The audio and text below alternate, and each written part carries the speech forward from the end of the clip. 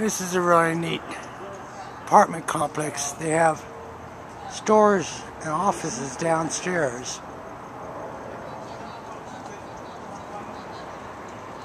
And then upstairs is all the living quarters or apartments.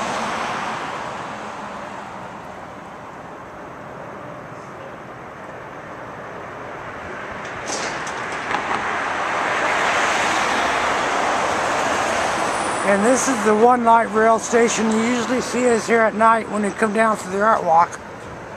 But here's what it looks like during the day.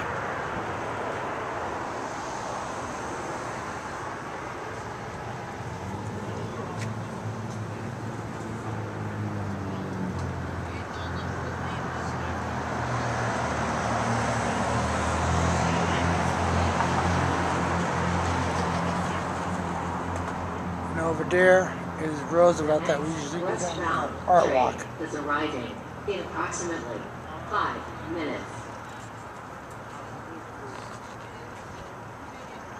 Okay, that's it.